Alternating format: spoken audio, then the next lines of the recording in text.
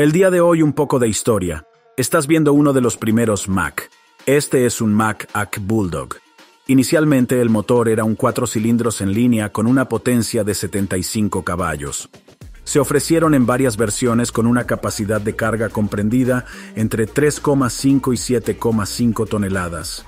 Fueron fabricados durante más de 20 años, concretamente entre 1916 y 1939, se usaron en muchas industrias pesadas, como la tala de grandes árboles, el petróleo, la construcción y en cualquier lugar en que hacía falta un vehículo duro como una roca, y no debemos olvidar que fue un veterano de la Primera Guerra Mundial.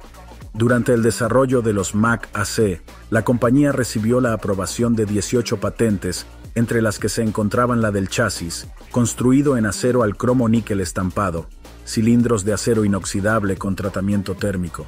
¿Habías escuchado de este veterano?